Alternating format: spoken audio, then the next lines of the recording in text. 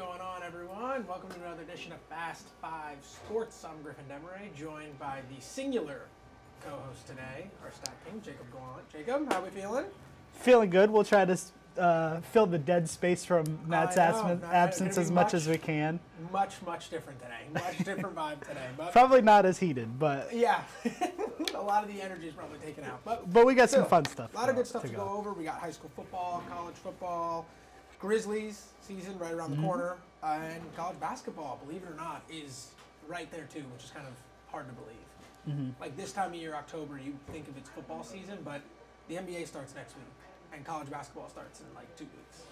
Yeah. Um, I've been catching a little bit of the preseason games, but uh, also the WNBA finals has been awesome so the far WNBA too. finals has been Man, good. that shot Sabrina hit. That whew. was wild.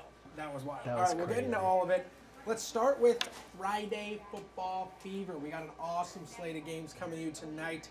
Starting with our game of the week, I will be there. It is MUS taking on Christian Brothers, a match they've been playing since 1894. Last year's game mm-hmm. was won by MUS 21-7, but much different story this year. Christian Brothers coming in at 4 to MUS at 2 and 5, but we also got Overton South Southwind, South Panola Center Hill, Cordova, Collierville, Melrose Ridgeway, and Hernando Horn Lake. A lot of good things on the slate. I do think this game of the week, though, MUS and Christian Brothers, is going to be really interesting. This is a rivalry game they've been playing, like I said, hundreds of years now. And in rivalry games, especially in high school, I feel like anything can kind of happen. You know what I mean? Like just it's kind of like the Egg Bowl when I think about it. Like no matter records go out the door. That's what um, Coach Mark Chubb at MUS was telling me last week. All records for this game go out the door, which I'm sure MUS probably wants the record to go out the door. That'd be very helpful Yeah. for them. But either way, I mean, Christian Brothers gonna have a backup quarterback for the second week in a row. They beat Briarcrest last week, but backup quarterback rivalry game. It's definitely gonna be a uh, bit of a toss-up.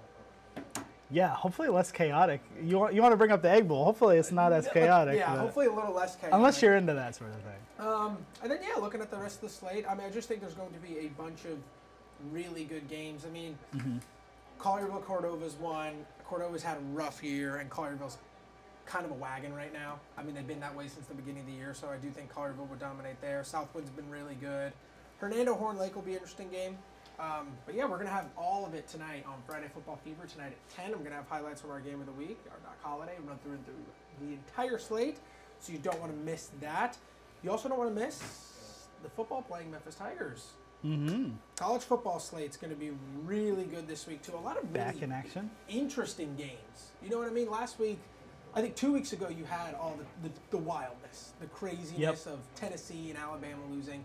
And last week, I think a lot of people looked at the slate and "Oh, it's going to be a lot better." This this week, there's Georgia and Texas, which is obviously the headliner that everyone's talking about. But I do think there are a lot of middle games that could be really tricky. Like I mean, LSU going to Arkansas.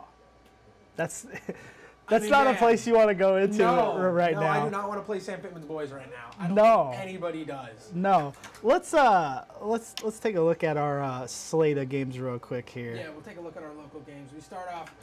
North Texas plays Memphis. That'll be at Liberty uh, Simmons Bank Liberty Stadium at 6:30 tomorrow night. We have Alabama, Tennessee, third Saturday in That's October. gonna be That's gonna that's be gonna be a banger. watch TV.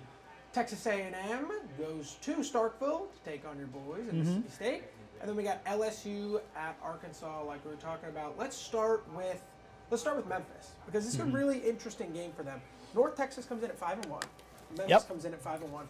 North Texas is a weird five and one though because their one loss is to Texas Tech and they got Blown out. blown out, like the doors blown They- out. yeah, But dominated. you look at the other games, and it's like North Texas is a team where I look at it and you don't know if they're good or they're not good. They played UAB really close, and UAB Mm-hmm. Yeah. so far this year has looked Horrible. horrendous. So like, Ma- I don't know one of the that- worst in the nation. I don't know what that really says. Yeah. Um, I was looking into this this uh, Mean Green team a little bit earlier. We're not at the trivia section yet, but do you know how many times North Texas has won ten games in a season? I'm gonna go with one, Zero. zero. They've never it was done either it. one or zero. That was just uh, surprising to me. This is not a historically great program. Uh, second year under head coach Eric Morris. Um, yeah, I mean, if you look at their their schedule for the year so far, it's been a lot of shootouts, a lot of high scoring games. Uh, they scored 52 against Tulsa, 41 against Florida Atlantic, 44 against Wyoming. So they could put points on the board, um, which might be a little scary uh, based on how Memphis's defense has looked at times this year. Um, but yeah, um, this is one that Memphis pretty much needs to have. Yeah, I mean, not like one we they can afford to lose. week. From this point on, they're all they're all wins. But All- it, this is a really interesting point in their schedule because if you look at it, start of the year, everyone was looking at that Florida State game, and then Yep. you had the game against Navy, the slip off, and after that, it's the American Conference schedule, which throughout the years has slowly gotten worse and worse and worse as you've mm-hmm. lost schools like SMU, you've lost all these different other schools, and now you just kind of have these these weird. Almost every game feels like a trap game until you get to Tulane at the end of the year.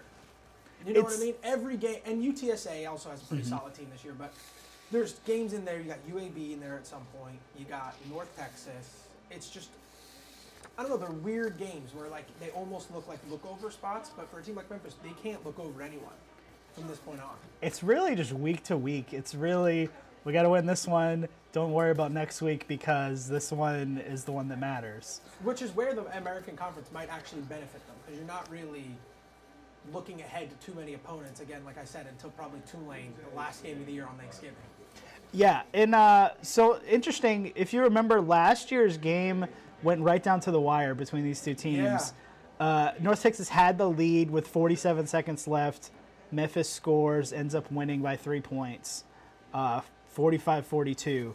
Shootout style. That like was you, like you were saying. that was a heck of a game. Um, and then the Tigers hold the all-time advantage, 18 to four. So not a not a team they usually lose No. to. 18 to four uh, all time But dude, you never know in this college football. world Against the year. Mean It has Green. been crazy. You Um, really don't. I, w- I would expect to see a lot of points on the board. Let's talk about points. Let's talk about Alabama, Tennessee, or maybe not points on what we've seen the past couple weeks. Um, I think this one is all a question of which Alabama team you get. Do you get Alabama that played Georgia, or do you get the last two weeks Alabama that has lost to Vanderbilt and should have lost to South Carolina? That I mean, that's the burning question. Tennessee, Yeah. I mean, world beaters for the first five games, lose at Arkansas, and then look shaky at best against a bad Florida team last week. A game they probably should have lost. Yeah, they, Um, they definitely but- should have lost. Yeah, but I mean, hey, I mean, take what you can get. Yeah, I, I, I think if the Vols were to lose this game, it's probably momentum is not looking great. Um, no, but I mean, they can. I mean, we remember what happened last time Alabama went to Tennessee. Right. No, I mean, I think this game could totally go either way. I, I mean, Alabama's looked shaky. Tennessee's looked shaky the last few weeks, but we know these both of these teams are really talented. They have the capability to beat m pretty much anyone in the nation, but you really don't know who's showing up. You I, I don't know team what you're getting. You I have don't- no idea. we we on this show we were talking so highly about Nico the first few weeks of the season. He looked awesome, and he really hasn't looked great No. the last two three games. Um, really, the three three games because the Oklahoma win, their defense kind of carried him Yeah, in and the thing is with Alabama, that defense since halftime of that Georgia game has just been awful. I mean, Yep. Vanderbilt went for 450 yards. South Yeah, Carolina was throwing around the yard too, especially down the end of the game. So this is the game where I think Tennessee can really get some momentum here and maybe propel themselves forward. Because if they can get that offense going, that Alabama defense has looked extremely vulnerable.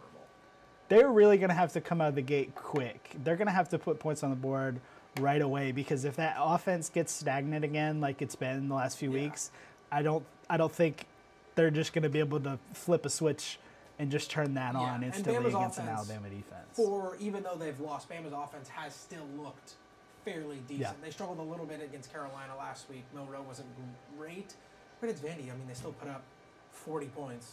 It's usually enough to be Vandy, but Oh, oh, and then pretty much any other. pretty year. much any other team. Uh, too, but Tennessee's defense has looked pretty steady the last few weeks. I'm, I'm kind of more concerned about where their offense is at Yeah. and if they can put enough points on the board. But again, my point comes down to, all right, Tennessee's defense has looked good, but it's the same question as earlier in the year. What is the what does the competition look like? Yeah. I mean, they That's played true. in conference Arkansas, who's not really known for their offense this year. They played Florida, who plays two quarterbacks for some reason 90% of the time, which I thoroughly don't understand. That's the Billy Napier system. And man. then they played Oklahoma, who benched their quarterback yeah, in after halftime and brought in a true freshman.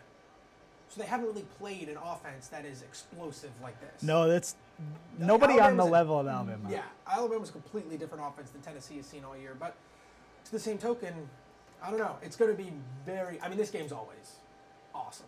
Yeah. Something always happens. Yeah, I think no matter what, I think we can expect a good game. Fireworks. Uh, I don't think it. I don't think either team is gonna blow No. blow one out. no. Um, But yeah, moving to blowouts, let's talk about one that didn't happen last week that we were all expecting. Mississippi State hung around with Georgia. had me in the first half there, but They okay. Um, yeah, I mean, oh man, I, I think Michael Van Buren Jr. is is a guy. Yeah. he looked really good. Um, th- they're building momentum, which is weird to say when you're losing games. But they just played the absolute hardest two game stretch you can possibly Oh, play yes. And you have a at uh, at Texas and at Georgia. and you have a first year head coach with a true freshman quarterback play. Yeah. Like there's going to be growing pains and there's going to be things that need to be worked on. I would not be stunned at all if they were able to beat Texas A&M in this game. This is it's in a- Starkville. A&M's kind of feeling the momentum right now. They might be underestimating the Mississippi State team that their record doesn't look good, but they've been playing hard. Um, and the off the offense has looked pretty steady. The defense is shaky. That's better than it was to start the year off. Um, but I, I think they can put up some points on this Texas A&M team. I would not be surprised if, if we saw an I update, agree with an upset in Starkville this this is week. An extremely close game down to the wire, 100%. Mm-hmm. This is one of those games too where if you watch, you'll first turn on the TV and you'll have no idea which team's who. 'cause They have the exact same colors and wear like Same the exact scheme. same uniforms basically. So Yeah. I've had that issue in the past when I watch these teams play, but I totally agree. I think this is A&M stomped Missouri. Was A&M on bye last week? I think they were.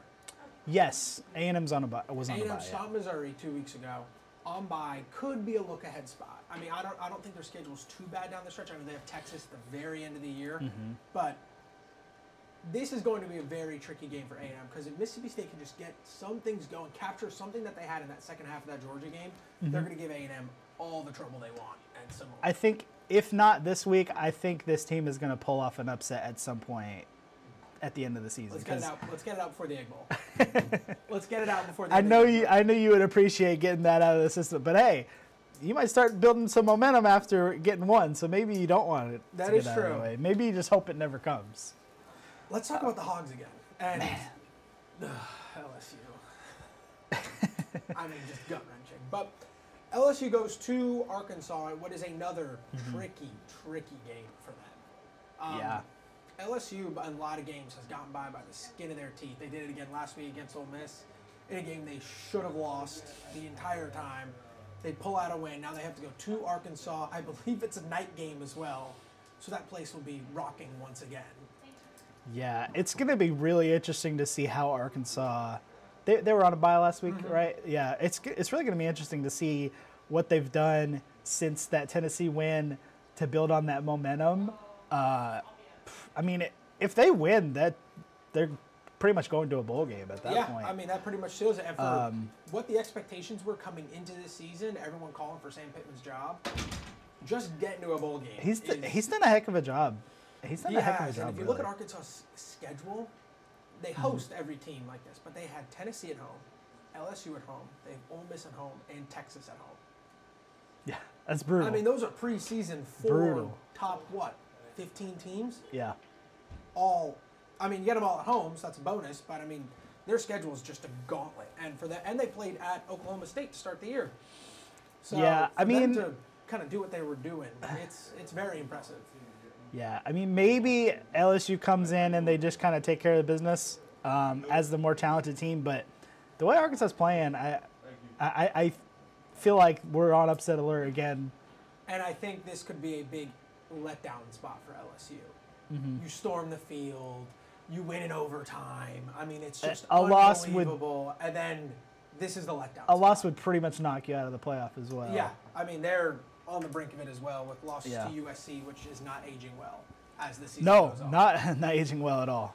Um, They've been kind of a disaster. Ole Miss is on bye, thank God. Um, don't have to watch the misery anymore. Uh, last week was just. I mean, Matt said it best when I was talking to him about it. You can't, when you're on the road in Death Valley, in a place you haven't won in years, you can't not score on drives. Yep. Early in the game, Tre Harris drops the touchdown.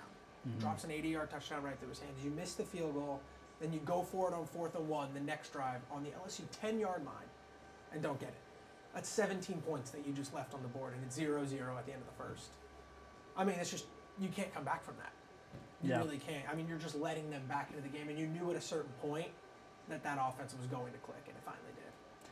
it's like time and time again, no matter how LSU looks, it's like Death Valley is just never safe. They LSU could look horrible, and you'd go into Death Valley and go, "Oh no, this is this might be a bad time." I mean, because you really, half, they look terrible. yeah, I mean, they looked. Uh, Nussmeier threw an interception off his own offensive lineman's helmet, and we stayed. Ole Miss still couldn't score. It was unbelievable how just the game was being gifted to Ole Miss. It looked like, and they just refused to take it. And LSU, once again, finds to finds a way to win in Death Valley, which is very impressive. you really, yeah, you really just can't make any mistakes in, in Death Valley at night. Valley at night, it's it's a it's a monster in itself. Mm. And now you know Ole Miss probably has to win out. And that might not at, even be enough. and that's. I, I, I yeah. It I mean, a win over Georgia is probably going to be enough to get the committee looking at them.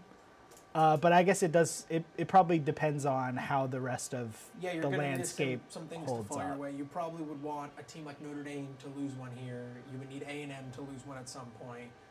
Um, just teams in that tweener mix. Clemson could lose another, and that could help. But Yeah. at this rate, I mean, I, I don't even think we can talk about winning out with Ole Miss. I mean, I, I don't see it in the cards. I see a loss at home to Georgia. I see a loss on the road at Arkansas. Like it's, you're staring down the bullet and four. Yeah. ugh. Speaking of teams not wanting to go into Arkansas, I know it's Yeah, I- it's oh historically not been like historically another place. Maybe we're just not good anywhere. um, let's move on from that. that's that's even a bit of the sad. curse. Um, talk college hoops. We were just talking about Yeah. it. It's right around the corner, man. Um, Memphis coming into the year, zero votes in the top 25. Were you surprised by that? I was because, but I wasn't. I wasn't. I mean, yes, the roster is stacked. You brought in a loaded transfer class again. There are plenty of college basketball writers. I know Jon Rothstein's one of them. Has him at 45 preseason. I think that's where a lot of people have them falling into somewhere in that 35 to 45 range. And I, I think it does have to do with the collapse of last year and mm-hmm. how things just fell apart, how the wheels came off. This was a top 10 team that was then losing three games in a row on a Texas road trip by 30 every game. So I do think the committee has looked at that and said, I don't think we can give them the kind of pub that maybe they deserve. But hey, they're gonna they're gonna get a test week one with Missouri. Um, we know Penny always schedules crazy out of conference, and this year you kind of have to. Again, Yeah. kind of like we talked about in football, Yeah. the American has very much fallen. I don't want to say fallen behind, but kind of taken a step back in terms of basketball with Dusty May leaving FAU. They're not nearly the program that they were last year going in. And but that being said, Memphis was still not projected to win the conference preseason. Right. And you might be in a spot where you kind of have to win it, Yeah, this is Um, gonna be a one bid league, probably. depending on how things go. Depending on how things shake out non-conference, this is probably a one-bid league. Um, I think if you're a Tigers fan, you do like what you saw this past week against North Carolina in the uh, St. Jude uh, tip-off game. Yep. They looked good. They came out really hot. Yes, they couldn't keep up with North Carolina's star power, but North Carolina's top five team in the country this year. Yeah. Now, one downside was that was without R.J. Davis, so you can imagine how good North Carolina is probably going to be going forward. Yeah, I mean, I think really you just wanted to show that you could compete Yeah. um, and that you were kind of on that similar plane as And them. Penny even said after the game that they weren't showing anything. They didn't run any sets. They didn't run anything crazy. Yeah. They just kind of I went mean, up and down. It was kind still a preseason game. yeah, so. just kind of feel things out. Um, PJ Haggerty looked good. Tyrese Hunter, the two big transfers from this past year Mm-hmm. from Tulsa Texas, looked really good. So I think you have to like what you have there. Again, it's it's Penny, so it's going to be all transfers and a new team every year. So, yeah. but you do got to like there. One team that was in the preseason top 25, Ole Miss. Kind of surprising. And the Hogs. Hogs came in at I believe 15. Ole Miss And the Vols are there. 24. Vols I believe are seven. That's not no, like 12 or 13. There's Somewhere a stack around of there. SEC teams, Yeah. 11, 12, Around there, 13. SEC came in with nine teams in the top 25. I was a little surprised to see Ole Miss on there too. Um, are you feeling I mean, optimistic about? Yeah, I mean it's Beard, and I think year? he's a top 20 coach in college basketball. Yes, he has his off the off the court issues, but on the court, he's a tremendous coach. Mm-hmm. He brought in similar to Penny, a phenomenal transfer class. A lot of guys coming from schools a little lower that are ready to make that big jump. So the SEC is just going to be a gauntlet this year. In. Yeah. It's going to be an absolute gauntlet. You have nine to ten tournament teams, in my opinion. And I mean, good for Memphis. They play two of them. They play. Don't they play Mississippi State this year as well? Yes, they They do. have State and Ole Miss, And and, they Memphis. have Alabama in a scrimmage, don't they? Correct me if I'm wrong. I believe. I believe There's so. a scrimmage coming yeah. up against Bama too. So Yeah, I mean, Mississippi State was a team I kind of I kind of thought they might have snuck into the rankings, but they did receive uh, some votes. I can't remember exactly how many, but that's a good roster as I mean, well. Bring back. had them rolling last Uh, year. yeah, I, th- I really like what he's building there. Bringing back Josh Hubbard, who was great last year. Um, yeah, I'm, I'm excited to see that. Uh, it, those will be really interesting tests for Memphis, um, playing kind of the mid South schools. It's it's fun that we get a little bit of mingling between Yeah. between the the Mississippi the Mississippi And schools and, think Memphis this year. trying. I mean, it's obvious what Penny's trying to do. He's trying to make sure that, God forbid, you blow up in conference a little bit. Maybe not Yeah. as bad as last year, but say you lose two or three in conference, you have that fallback of say you beat Mississippi State in December, say you beat Clemson in November. Yep. Those wins can just bolster you up a little bit, so that if you, God forbid, you don't win the conference, you do have that little extra wiggle room to try and get in. Um, Mm-hmm. Last thing on college basketball, I cannot wait to watch Arkansas this year. Yeah, uh, they were really fun so last year. crazy to watch, man. I mean, it's going to be unbelievable. Cal, just in a different color, not in blue, is just going to feel so weird. But they're going to be loaded. I mean, he brought in. He had the Deion quote basically. I'm bringing my luggage in because he brought dudes with him, and they're that's- going to be very good. That's gonna be surreal. It, yeah, just seeing him not wearing blue is gonna be so odd. It's going to feel wrong. yeah, Like it's not that. It's not supposed to be like that. yeah, and and Arkansas has been kind of one of those plucky teams that can kind of make a little bit of noise in March. Oh yeah. Um, and so obviously adding, arguably one of the best coaches In you know in modern history. Yeah. Uh, yeah, that's that's gonna be a really fun. I mean, team if you remember watch. back in the Musselman days, they had what was it? It was a four-year stretch where I think they went Sweet 16, Elite Eight, Elite Eight, Sweet 16. Yep. So I mean, they are very good in the postseason every year. Um, another quick shout out: Tony Bennett, Virginia head coach, suddenly retired there today. today. Kind of weird, crazy timing. He said in his press conference today he was just didn't like the direction the game was going in, and just said, "I don't think it's for me anymore." Do you think he's he's kind of feeling the the Nick Saban effect as well? Maybe similar. because he's one of those reasonings. coaches who's just been doing it for years. National title title winner. He won three Coach of the Year awards. Just interesting for a guy like that to just bow out I kind of and a half weeks before the season. uh, assuming that it is kind of like a, a an NIL deal thing that he's got going on. I kind of respect just bowing out and leaving, as opposed to the guys who just complain about it nonstop, like you know Dabo Swinney. exactly what I was gonna say. I mean, you're right. You're right. I, you know, I almost time, though- respect just going. You know what? This isn't for me. I'm out of here. All Yeah, respect. You left your team just out Oh no, the little bit? timing. The timing is I mean, terrible. you- we started the season. two No, and a half no, no, weeks, no. And they're gonna have a new coach, and That- now the transfer portal opens up. that's because he that's left, different. That's portal- different. He yeah, he should not abandon his team right before the season. And he even That- said he was like, yeah. "Oh, I was thinking about it in the off season." Like, dude, you probably No, should have just you- done it like weeks you should have done this in like April or May. Yeah. Like, I mean, no, crazy. man, the come wild part on. about it is that now the portal opens for 30 days for those players. The season Yeah. starts in 20.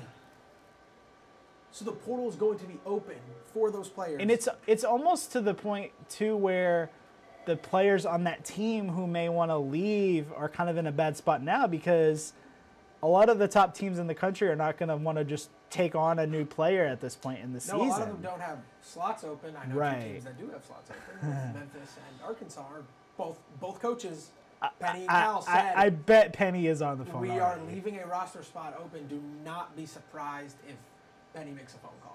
I, I think he probably already has. yeah, because I'm sure there's a lot of guys on that roster. I, I'm sure that thing's been ringing. big things. Um, stay on hoops. Final preseason game for the Grizzlies tonight, taking on the Miami Heat. I'm Mm-hmm. sure we will not see much in terms of starters playing or anything like that. I have seen chatter that Jaw may get some minutes tonight. Uh, I don't know if that is confirmed or not. He might just try to be working him back, But but it's- he hasn't played since the rolling of his ankle. Right. Um, it is an interesting philosophy because I was watching Nuggets and Timberwolves last night, and Minnesota did not play any of their starters. It, they went full bench rotation, and the Nuggets played all of their starters, Really? heavy minutes. And when I tell you that Luka Garza was out playing Nikola Jokic last night, I'm not kidding. Luka Garza, 27 points. Nikola Jokic looked really sluggish, like he did not want to be there, which Yeah. Which is his default, but he also had, I think, like two points. Dude barely wants to Um, the season's actually in session. So I, I, it almost felt like the players were revolting against Mike Malone for making them play so many minutes in a preseason game, and like the Timberwolves bench was so energized against it. Um, but yeah, just to say, I don't really know what Taylor Jenkins' strategy is look, looking at going into tonight because th- those are two coaches on different ends of the spectrum uh, that I just noticed last night. Yeah. So I wouldn't be surprised if we saw some starters get I some mean, the action tonight, especially. some too. I mean, I've seen Jimmy play a couple games now. Bam's played a little bit. I don't know. I just feel like one game before the season, just shut down. I mean, I could see Jaw maybe getting a couple minutes because you want Right. to get him back just in a game that isn't a scrimmage, just a little bit. But even that, I just feel like with this team, let, let's just get everyone to the finish line, please. There, there is, a, there, yeah, there is validity to that because you just had so many like, just injury wrap problems. these Just like, in bubble wrap and just get them to Utah. like at, at this point, like just get them there. just to avoid like the bad juju of doing it. Yeah, first Um, game against the Jazz Wednesday in Utah. Then they Mm-hmm. have another road game. They come back home. First home game is next Saturday against the Magic. Um, should be a great crowd. I'm thinking. Saturday is going to be pretty electric in the forum. Yeah, the season opener at FedEx Forum always is, and Orlando is not a pushover anymore. That's a good team. Yeah, Um, we were talking about them last last week. yeah, Um, Paolo is a stud. They've got a lot of guys that just play gritty defense. A lot of guys that can, well, they, they, they're working on the three point shooting. They added Caldwell Pope, Yeah. who can kind of do both. That, that's going to be a fun crowd. that's going to be two teams with higher expectations than I think most people think coming into this year. Sounds weird, but hear me out. Again, both of those teams probably projected to finish fifth ish in their conferences. Grizzlies and Interesting. Interestingly enough, I don't know if you saw this. Um, the Athletic put their uh, playoff projections out Okay. last uh, earlier this week. The Grizzlies were not in the top eight. That West? that very much surprised me. I, I just don't know how that's how Yeah. that's possible. I mean, you look Um, at rosters up and down. I just don't see how that's possible. Maybe they're assuming everyone gets hurt again, but I mean, I don't see how that's Uh, possible. let, let me find uh, exactly. I know the Lakers were the eight seed, Oh my god. but yeah, I, it was just kind of bizarre uh, seeing the Grizzlies left off. Um, Yeah, I mean, again, the West is loaded. That no one is fighting that argument that the West has is so deep in terms of talent. But I just see the Grizzlies roster as being a step ahead of some of these teams. Like the Grizzlies have a much better roster up and down the Lakers. and also, I mean, the Clippers with Kawhi Leonard's Kawhi injury. year, out- uh, that- not that- the year, but That Clippers team, sans Kawhi Leonard, I, I don't like it. Well, have I, you seen? I, I don't like now? Is Kawhi Leonard's not playing? So with Kawhi Leonard out of the Clippers, they are what? They're not. They're not a playoff team. No, by any means. not at they're all. probably much, much lower. Probably not even a play-in team at that point. Guess who has their first round pick this year? Oklahoma City. Oklahoma City Thunder. Um, Could you imagine a world in where the Clippers tank this year? that's that's another th- that's another thing. Like the the Thunder just have too many picks.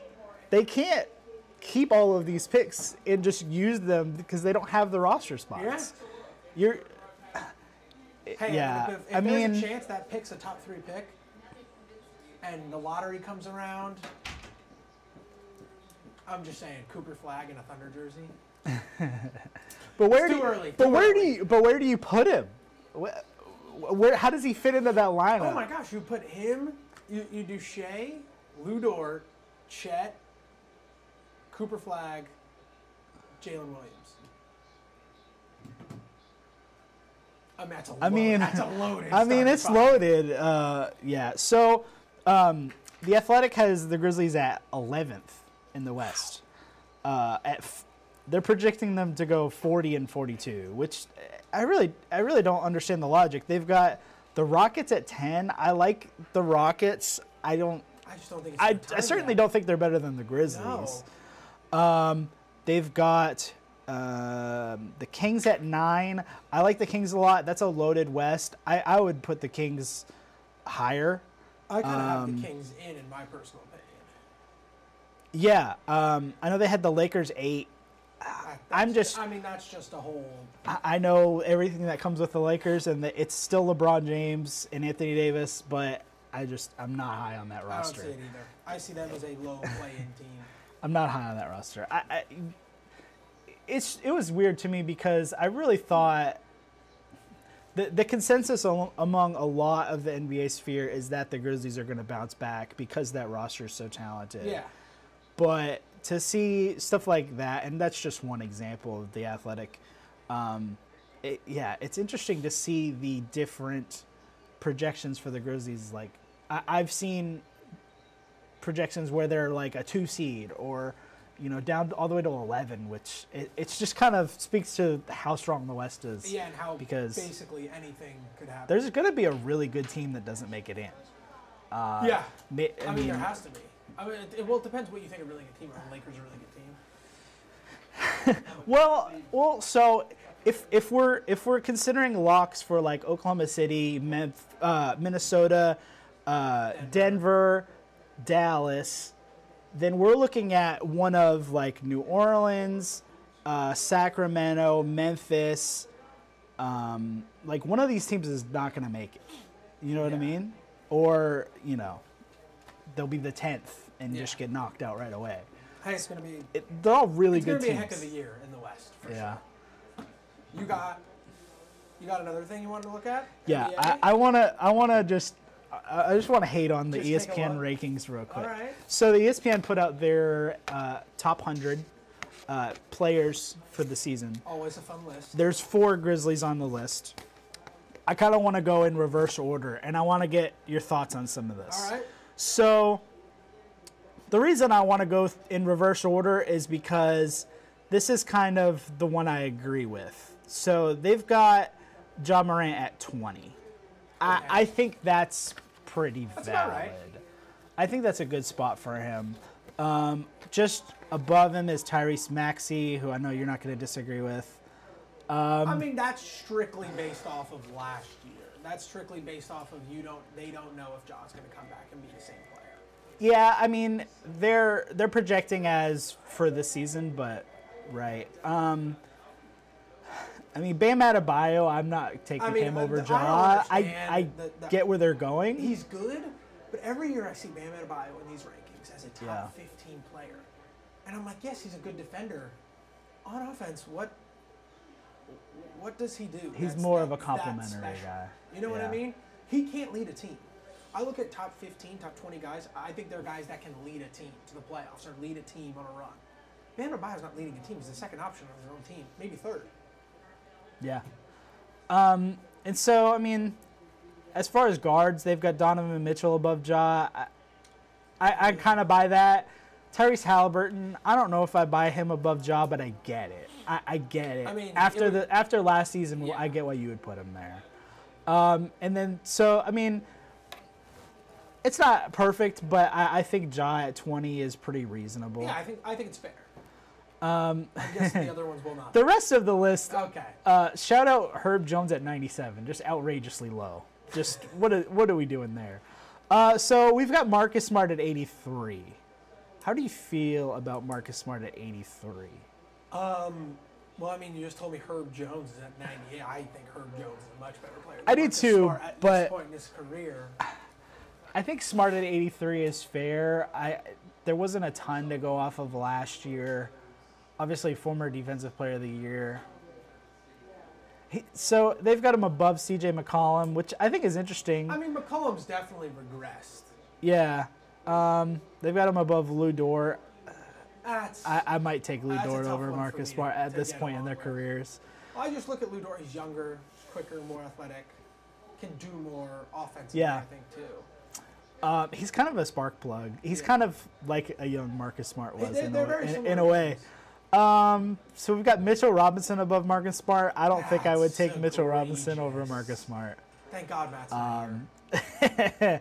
Miles Turner, I think is better. That's fair. Jerami Grant, I think is Fair. better. Fred VanVleet, you know, he's got limitations, but I think that's fine.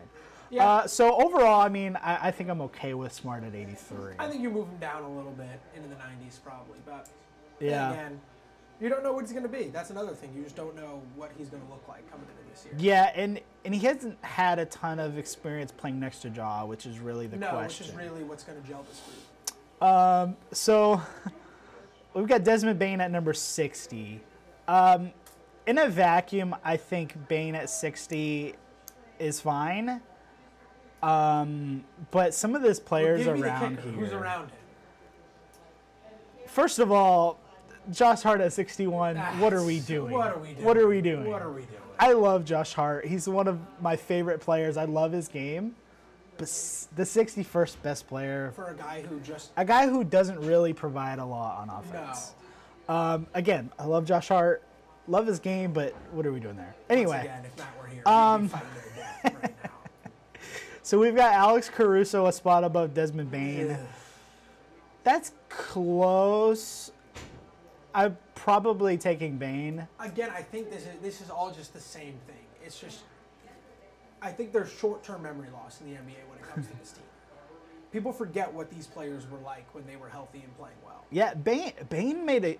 It felt like Bane made a huge leap last year, Yeah. and they've got him a spot higher than he was in in 2023. yeah, and below guys like Um, Caruso is just Coby White is a, a spot above Caruso. I think I'm taking Bane over Coby. I am. Keep going. Uh, Darius Garland.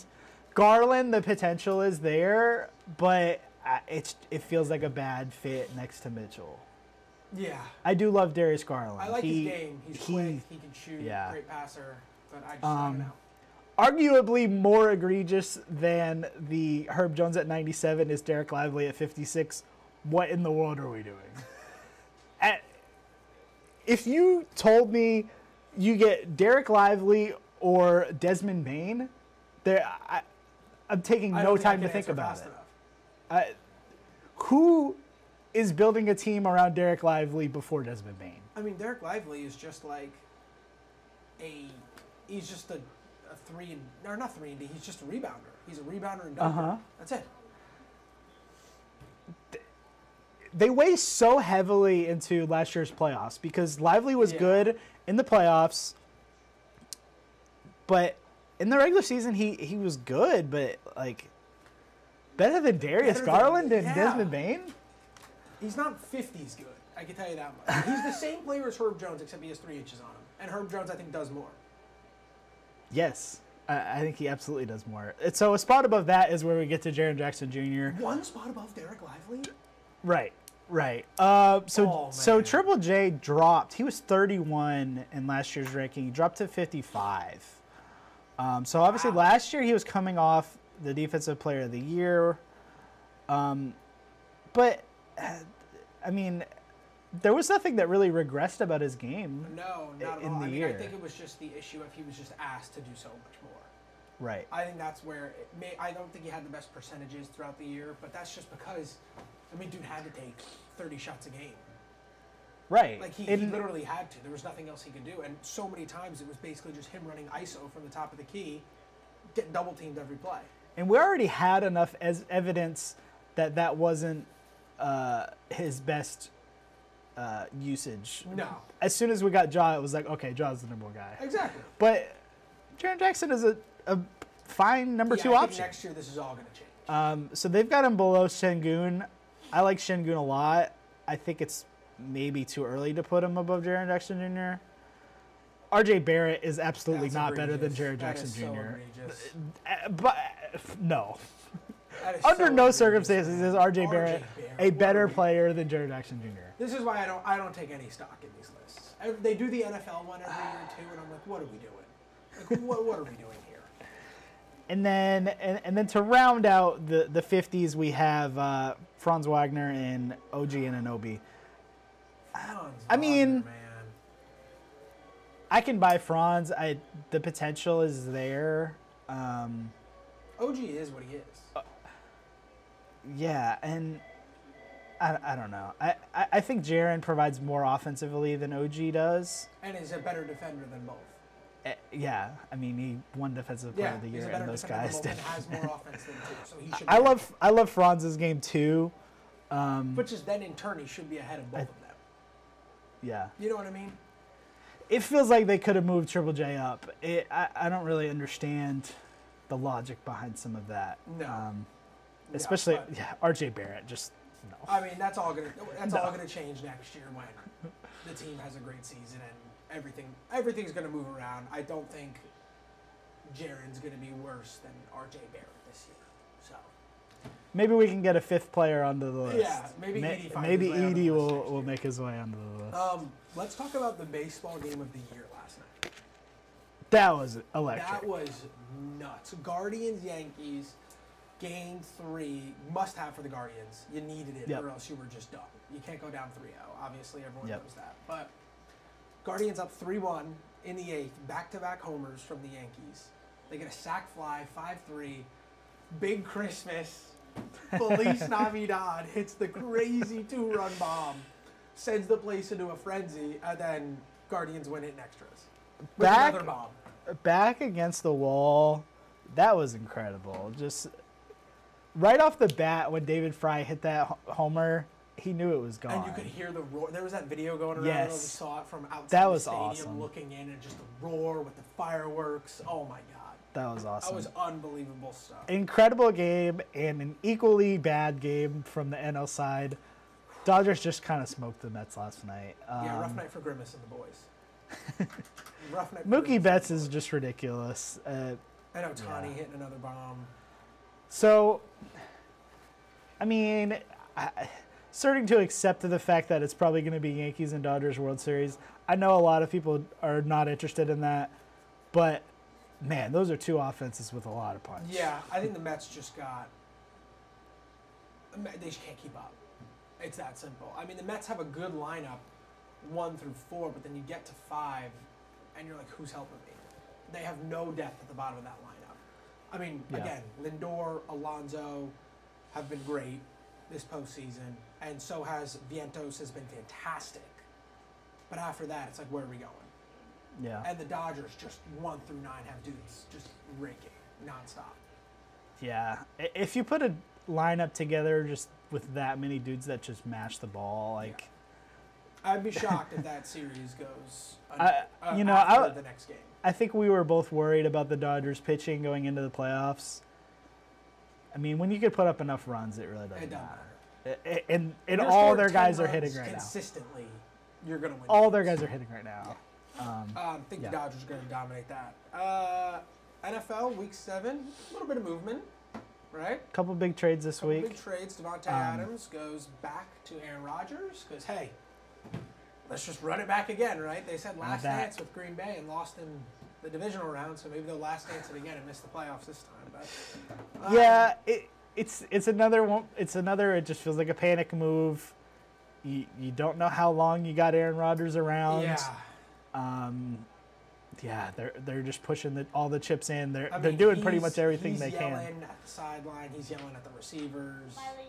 It's just a mess. It looks like right now. That I mean, that's uh, yeah. That when And I just don't know if Davante Adams fixes that mess. Aaron Rodgers is one of those guys when things are going poorly, all of that becomes magnified. He Yes. he yells at the young receivers when they don't catch the ball. He yells at the coaching staff when the offense can't move the ball. and that's just part of who he is, and that's part of what you get with Aaron Rodgers. And it doesn't matter if you're winning, Nope. but they're not winning. They're not. So it's all magnified. Exactly. And staying in the AFC East, Amari Cooper goes to the Bills. It's amazing. After that game, I think both teams saw that they could not move the ball as well as they wanted to. I think Buffalo really wanted a receiver. I mean, Buffalo was going into the year with what? Shakir is their number one option. Yeah. I think they thought Keon Coleman would progress more, but he has not done anything. Yeah, I, I love the Amari Cooper trade for them. They really needed a number one. They, they you know, they didn't really replace Stefon Diggs. And not that Cooper is on Diggs' level, but I, I think it's a good enough replacement. They really just needed a number one guy. They did. And, you I know, mean, if you watch that game, Alan, if that Monday night game, Aaron Rodgers was getting angry because he just kept missing guys. And he wasn't on the same page with Mike Williams and Garrett Wilson. But Josh Allen was just throwing to Ray Davis, yep. Dalton Kincaid, and Dawson Knox. I, I, I don't think I saw a receiver make a catch all mm-hmm. night. Yeah. So he obviously needed some sort of help. So he's got it now. We'll see kind of what that does going forward. Um, I look at that AFC East. I see the Bills kind of just running away with it from here. Yeah, especially with, with Tua out, the Yeah. Dolphins aren't really in a spot to contend with them. The Dolphins are down to what two and five now, Yeah. It- Jets it- also it's two been real five? ugly. right? It- Yeah, um, yeah, it's it's been real ugly for for several AFC East teams this year. and the Patriots. I mean, Drake Maye looked all right in his start, but it's just like Yeah, but they're not going anywhere. not So. So, um, anything on the schedule uh, standing out to you this week? um, I know there's one that I'm looking towards. what is it? Uh, you know, predictably, but I think this is the best matchup of the week: Packers Texans. Yeah, Uh, those are two offenses who have been really stellar lately. Um, you know, Texans are missing Nico Collins, but still C.J. Stroud, Stefon Diggs. They're they're able to move the ball, and two defensive de- defenses that can hang. Uh, you know, the Packers are forcing a lot of turnovers this year, giving up some points, but um, they're able to make the big play when it counts. And that offense looked electric last week. They've got all those receivers working. Um, so I'm really excited to see what those two teams do. Yeah, we also have the um, the greatest game of the year actually going on in London this week. We have the Patriots playing the Jags. I Must know- miss. I don't know what London did to deserve that, but that's just They know what they did. they know what they did. You're right. Um, you also got Chiefs Niners oh right, yeah, Yeah. the Super Bowl rematch. Super Bowl rematch, 325. Weird game because the Niners have not been what they were billed to be so far this year. So interesting to see if they bounce back. Kansas City has just been doing Kansas City things, and um, yeah, it's just been interesting for them. We also got really interesting one on Monday: Ravens at Bucks. I don't know, it's tricky. yeah, Because the um, Ravens have gotten so much better in the last three weeks. They look great now. yeah, And the Buccaneers are kind of going in the opposite direction, it seems like. The Buccaneers smoked the Eagles and they beat the Lions in Detroit. And since then, it's just kind of. I mean, they beat the Saints last week, but I don't know. I don't take too much everybody's beating the. Saints yeah. lately. Uh, not to mention last night's game. That Yeah, was ugly. Um, yeah, uh, I'm I'm looking forward to uh, the the Chiefs and Niners. Uh, you know, the Chiefs are kind of making do with. You know, the, the, it feels like they're missing a few pieces here, and they're still making it work. And the Niners, really, the big piece that they're missing is McCaffrey, and Jordan Mason has been playing excellent, but it it, it still feels like something's missing there. You know. I think we said two weeks ago the year is 2024 and Juju Smith Schuster had 10 catches in a game. So, I mean, it just shows what the Chiefs are doing with very, very limited resources. Yeah, and it, it was week one. We were all wowed by uh, Xavier Worthy, and he really hasn't done a ton since. Well, I think now that Rashee Rice is out, Worthy's probably getting a lot more attention. yeah, Because besides him, it's Juju and Kelsey. So yeah. gonna make it work, but it's gonna be a good slate. Um, Want to round it out with some trivia? Let's do it. All right, so It's just me, so it's gonna be rough. well, no, uh, I, I got us one to work together. Right, Um, if you want to, if you want to use that keyboard to your right over there. So the uh, basis of today's quiz Uh, we're naming Grizzlies players. So it's another name some dudes. Uh, right. we're naming Grizzlies players and uh, that have played at least 50 uh, games for another team. okay. So it's it's got every team on the list, and we're just gonna name a Grizzly who, played, played 50 there. games for another team. yeah, Okay. at, each stop. So This might be rough, but here we go. I, I, I think it'll be easier Um, than you, you're giving it credit for. But uh, let's do off it. the rip. Did he play 50 games with Toronto? Oh, for sure. Interesting decision to go Toronto He did first. He did not play thir 50 games for Toronto. Well, there's also Mike Conley. We can just start with that. I feel like that's also a safe one. I spell it right? Uh, where are you ripping these? Okay, so it's going team by team. Oh my God, it is. So Grizzlies is first. So just oh my name God, dude. name someone who's only played for the Grizzlies. Don't overthink it. Ja. All right. We're gonna work together on this. What we got next? All right. Name the teams as Sacramento we get 'em. Kings. Zach Randolph. There we go. See, you didn't explain the rules to me. I, I felt like I did, but Orlando let's keep going. Orlando Uh, Magic. Did Lorenzo- Lorenzen Wright play in Orlando? Or am I imagining that? Lorenzo who? Knight? Um, hmm. You want to you want to move past that one? Yeah, let's move past Orlando. Houston? Houston. Or Uh, someone recently, I think. Why it was Stromile Swift the first name I thought of. Who? Did he play for Houston? Stromile Swift? I have no idea. Come on, man. Just type in Swift. Does that count? No? There you go. Oh, we got it. Shane Battier was the obvious pick there. Oh, yeah, yeah. Conley's the obvious pick here. For Minnesota? Yeah, I can just type Okay. last names, right? Yes. Yes. Cono. C O N L E Y. Come on, man. I think you know that one. Miami Heat. Miami Heat. Um, Pushing Thabeet. did he play in I Miami? think he played in Miami. You can rip it. I don't know how to the- spell Thabeet. T H A B E E T. No. You can always just rip guesses here. Guesses here, man. Um, We always could. I mean, Miami and go to another Memphis. Just Uh, off names here. oh, oh, uh, um, the the uh, the point guard for uh, the the Heat championship teams, Miles Chalmers. Oh. He played for the Grizzlies and Heat. Yeah. Chalmers, yeah. Spell, did I spell it right? C H A L M E R S. I didn't do the L.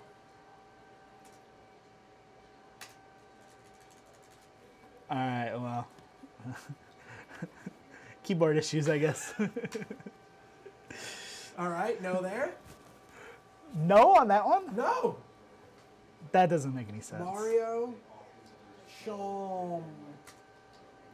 I I know There for a is, fact he played more than B in 50 it. games. Okay. Mike Next Miller? Dude, how did we not get that? Oh, Mike Miller would fit for Magic. Uh, Do we still miss Magic? No. Yeah. Rip him for the Magic. Bang. There you go. Utah Nice. Jazz. Um, Conley would work again. he would. I was gonna say Rudy Gay. Oh, Rudy Gay would work too. If you want to get a different name in there. Yeah. Damari Carroll. Talk about a throwback. Oh, name wow. there. All right, Gasol right there. Uh, Bucks. Bucks. Ooh.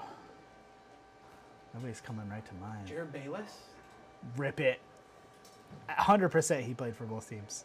Boom. Oh, yeah. Clippers. Clippers.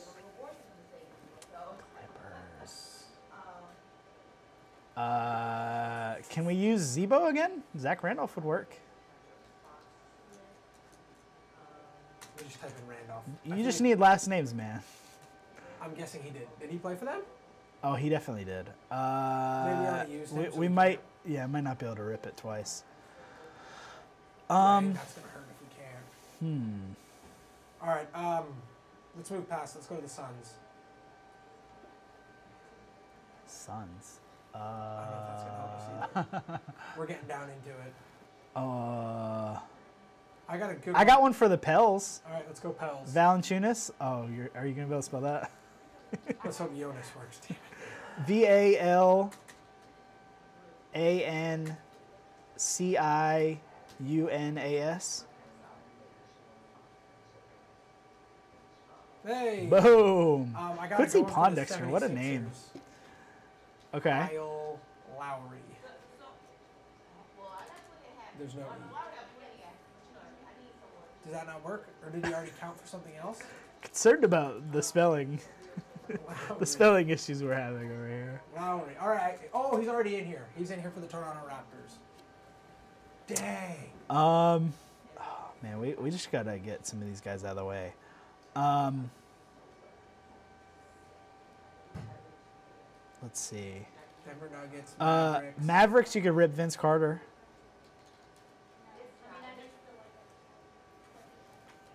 there you go. Oh, that would have worked for Suns too. Rockets. Um, we could have thought of Chandler Parsons. Legend. The GOAT.